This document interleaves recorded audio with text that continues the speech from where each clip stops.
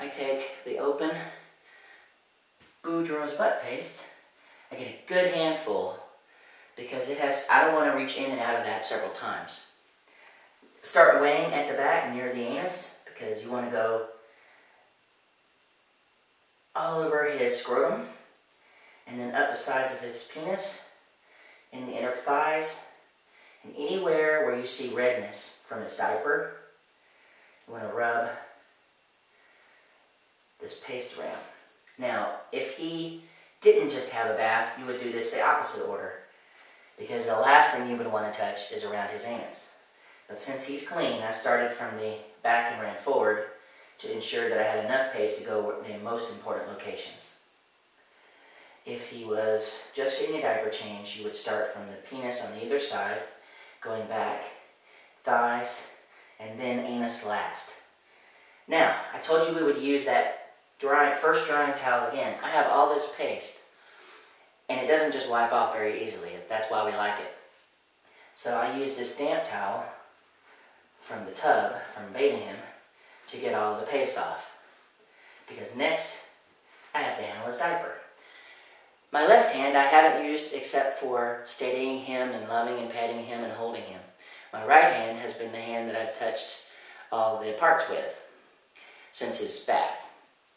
Luckily, we haven't had any accidents this morning, and I don't need to wipe off my hand. And I can put his diaper on. Now, this is like putting a diaper on a turkey. Turkey from the, uh, a thawed turkey from the store. You grab the legs, lift him up, put the Velcros on the floor.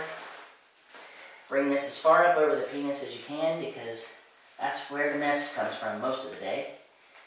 This is a Velcro diaper. And we want to get it tighter than you would do on a baby because he's going to move around and learn how to hop and slide. If you don't get it tight, it's just going to come off and drag whatever he's put in it around your house. Now, the last step is we have these, they're called uh, Simple Solution doggy diapers. They do have a hole in them for a tail if you have a dog with a tail. We don't. And we don't want stuff coming out of that hole, so we don't use this as his diaper. We use this to keep his diaper in place because the Velcro is one more step. So we place this under him just like we did the diaper. And he needs this today because we're going to the vet for physical therapy. So, again, Velcro the in place, a little tighter than you would a baby. This has elastic in the waist, so it gives some. And now, he knows the routine. Okay, all done. There you go. Good boy. Now, for an animal that's dragging himself, as you see he's doing, we want to protect his hind legs. And the way we protect his hind legs is we use this uh, self-sticky tape.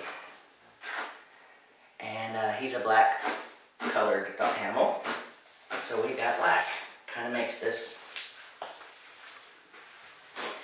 invisible on his body. Come here, buddy. You've got to wrap your leg. Stay. So we wrap this around the bony part of his ankle back of his leg because that is what gets friction burns as he pulls himself around the home surface he's sitting at. Tile, carpet. Now we have this on his leg in place. Come on, buddy, you gotta turn and do the other leg. That's a good boy. Now the benefit of these, they slide off like socks later when you want to clean them. You wouldn't want to leave them on him for several days because It'll get wet from urine and water when you bathe him, and that wetness will stay next to his skin and create more sores. So now, are we all done? He's taken care of and it's time to clean his kennel. So what I do, I remove this door and I hang it on the pegs that used to be our shelf. Now it's out of the way. The next step is to drain any remaining water and wipe it out. We don't want humidity in his kennel when he's inside. So we want to make sure it's dry and disinfected.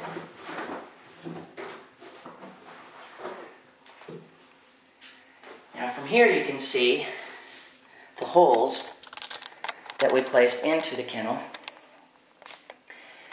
to drain the fluid out when we bathe him. There are more holes at the front than there are at the back. We don't want to make the kennel unstable. So it only has holes there. Probably I would drill some holes down the side if I had this to do again. Just to make it easier to get the fluid out while he's wet. With the kennel sitting upright and dried, you have two choices.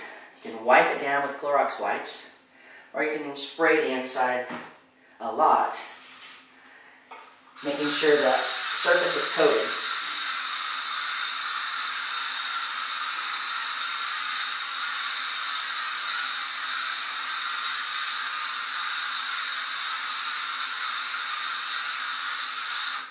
The benefit of a dis disinfectant spray is that it's deodorizing, it's disinfecting. This one's a country fresh scent, so the bathroom smells a little better afterwards.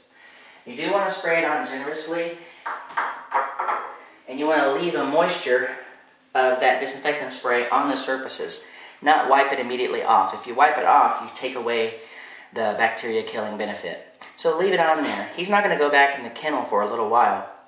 So it's good to just let it air dry with that disinfectant spray on it.